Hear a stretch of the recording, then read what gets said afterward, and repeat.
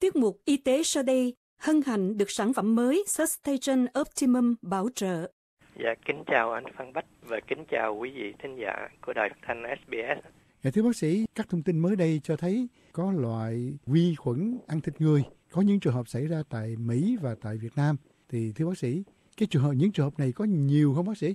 Dạ cái vi trùng ăn thịt người đó mình nói vi trùng nó đúng hơn tại nó là bacteria.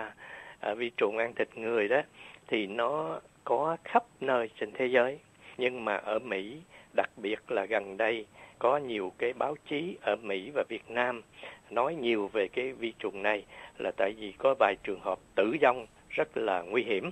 Cái con vi trùng ăn thịt người này thì nó không có xảy ra thường xuyên nhưng mà nó xảy ra là thường là chết người.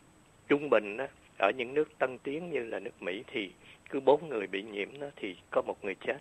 Còn ở Việt Nam thì vừa rồi có báo cáo là 10 người bị thì đến 7 người đã chết. Dạ vâng. Nhưng mà bác sĩ nói là nhiều nhưng mà nhiều ở Mỹ là số liệu là bao nhiêu thưa bác sĩ? Ờ, ở Mỹ thì trung bình mỗi năm đó có khoảng 800 trường hợp bị wow. nhiễm vi trùng ăn thịt người. Ừ. Tiếng Anh nó gọi là flesh eating bacteria. Flesh là cái thịt của mình đó, nó ăn cái thịt mình. Nhưng mà thực ra con vi trùng nó không có răng cỏ gì hết. Nó chỉ tiết ra những cái độc tố một chút mình nói sao và tại sao nó lại ăn vâng. thịt của mình. Dạ. Vâng. còn tại Việt Nam thưa bác sĩ lúc này cũng báo chí rộ lên gọi là vi khuẩn ăn thịt người. Thì có bao nhiêu trường hợp thưa bác sĩ? Dạ thưa ở Việt Nam đó trong thời gian gần đây đó thì người ta thấy có 10 trường hợp được báo cáo tại bệnh viện nhiệt đới trung ương ở Việt Nam trong đó những người bị là phần lớn là từ 30 tới 77 tuổi và tất cả đều là nam giới. À, tại sao đều là nam giới thì trúc mà có thì giờ mình bàn thử coi. Và trong 10 trường hợp bị như thế này đó là có 7 người đã chết. Và thành ra cái tỷ lệ tử vong nó rất là cao. Và từ khi mình bắt đầu bị bệnh cho tới mình tử vong nó thời gian nó rất là ngắn nó rất là nguy hiểm. Chúng ta sẽ lần lượt nói về những cái con à, vi trùng này như thế nào và nó truyền bệnh như thế nào và cách chữa trị hoặc là cách phòng ngừa. Nếu mà chúng ta có thì giờ chúng ta sẽ lần lượt đi à, xuyên qua. Đặc biệt nhất là con vi trùng nào thì nó ăn thịt người và nó ăn thì ăn như thế nào. Giống như là ở Việt Nam chúng ta thì nó báo cáo là có con Aromonas hydrophila nhưng mà thực ra có phải chỉ một con không? Dạ vâng, à, thưa bác sĩ, cái điều đó là rất là quan trọng nhưng mà trở lại với nước Úc này thì chẳng lẽ tại nước Úc không có một trường hợp nào bị ờ, những con vi trùng ăn thịt người và bác sĩ nói là những con này nó có khắp nơi phải không ạ? Dạ đúng, ở nước Úc chúng ta có chứ không phải không có. À, chẳng hạn như một có một kỳ à, cũng không xa lắm là có một đội banh khoảng 26 người gì đó đá banh ở trong Dũng Bùng cái nơi mà có sinh bùng bữa đó trời mưa dầm về hay sao đó và cuối cùng tìm ra là 26 người đều bị bệnh hết. Tuy nhiên nhờ sự định bệnh rất là sớm, cái nền y tế rất là cao, định bệnh rất là sớm và chữa trị rất là sớm cho nên không có ai chết hết và không có ai bị phải cưa tay chân gì hết. Cái cách chữa trị của con vi trùng ăn thịt người này rất là dễ với điều kiện chúng ta phải chữa trị đúng mức và đúng cái thời điểm mà chúng ta có thể tiêu diệt được nó. Dạ. Dạ vâng. Bác sĩ kể chuyện nghe hồi hộp quá. Nhưng mà thưa bác sĩ, trong những trường hợp nào thì bị bệnh đó bác sĩ? Dạ thưa à, anh Bách và thưa quý vị thính giả của đài à, phát thanh SBS.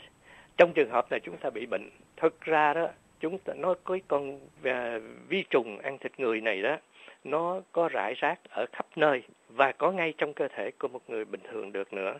Tuy nhiên phần lớn là nó ở những cái nước bẩn, những cái nước cống rãnh và phần lớn cái con vi trùng ăn thịt người tìm ở Việt Nam này đó là phần lớn là nó truyền bệnh cho những cái loài cá, tôm, ếch, nhái đồ nhiều hơn. Đối với người đó thì ờ, nó cũng không thích ăn thịt người lắm. Nói chung là nó ít có khi nào tấn công vô loài người trừ khi nào mà chúng ta uống những cái nước bẩn, có những con vi trùng đó, hoặc là chúng ta lội xuống làm việc ở những cái vùng giống như những người mà đi bắt cá, hay là ờ, nuôi cá, nuôi tôm, hay là ở Việt Nam có đốn gỗ, thả dưới sông, vân vân, hoặc là có người lại bị cá đâm vào tay.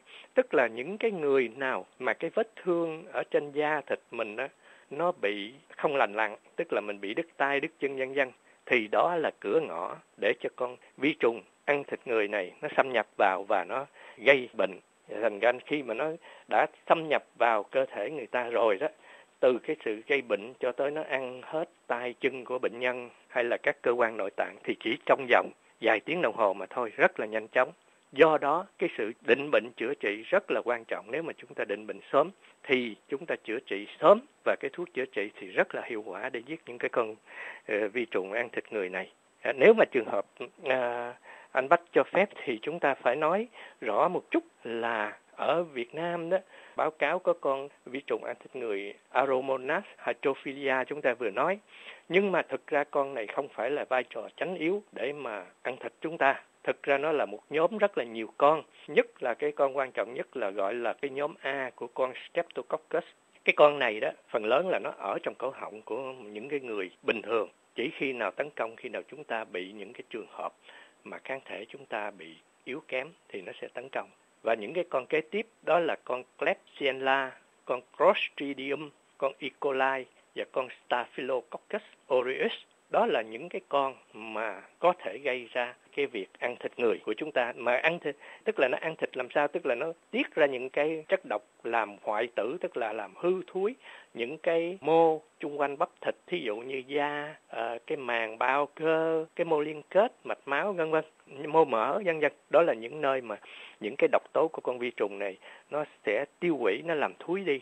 Tại vì chúng ta bị thúi đi thì chúng ta phải cưa bỏ không thôi. Những cái độc tố đó lại lan vào làm hư những cơ quan khác đó là lý do chúng ta gọi là vi trùng ăn thịt người. Tiếng Anh nó gọi cái bệnh này là necrotizing fasciitis. Necrotizing tức là nó làm thúi, làm hỏng. Để nó hư thúi ra, cái fasciitis là những cái màng bọc chung quanh những cái bắp cơ. Mời quý vị đón nghe tiết mục y tế tuần tới, hân hạnh được sản phẩm mới Sustation Optimum bảo trợ.